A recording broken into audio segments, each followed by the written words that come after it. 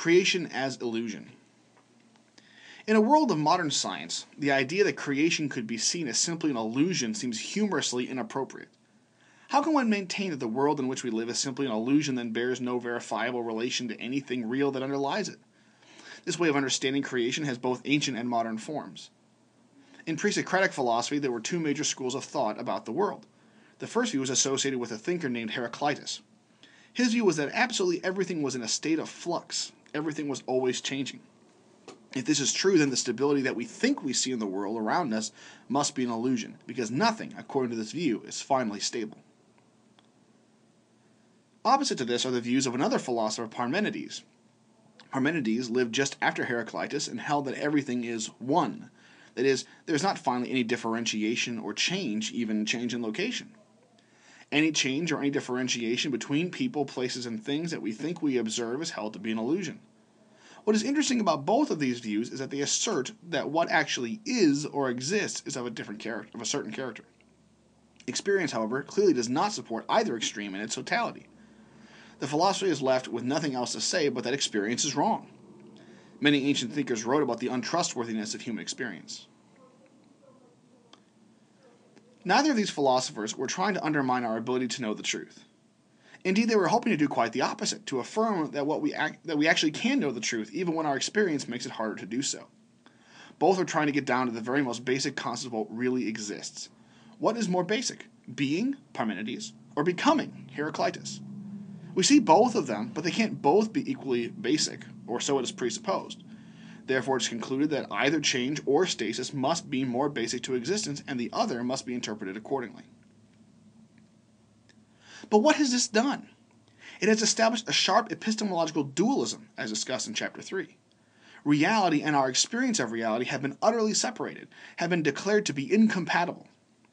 We say to Heraclitus that we experience some things as stable, and to Parmenides that we experience change. Both have no option but to say that our experience is wrong. It's clear that our experience is sometimes flawed and misinterpreted, but it is necessary but is it necessarily the case that our experience is always so flawed as to bear no relation whatsoever to reality as it actually is? Again neither thinker made skepticism the core of their system but if we push their views to their logical conclusions we must see that this is where they end up. This idea that reality is nothing more than an illusion has gained a new lease on life with the rise of postmodernity the realization that the communities in which we inhabit play a role in what we know has also tended to cast doubt that our experience is commensurate with reality. This time, it is not because we've decided ahead of time that the world is one way while our experience is another. Instead, it is under the guise of humility saying, I only know what is in my experience, which is shaped by my environment and community. How can I know that this experience is universally valid? Even if there is an objective reality, I only ever experience it in a subjective way. I say that this argument is under the guise of humility because it is actually not very humble at all. It not only says that the, their experience might be wrong, it also asserts that the experience of everyone else can have no more claim to objectivity. In fact, if those other views presume to have an insight into how reality actually is, and not just as it to, seems to them, they are dismissed as paternalistic and arrogant. And yet, how can this condemnation be made?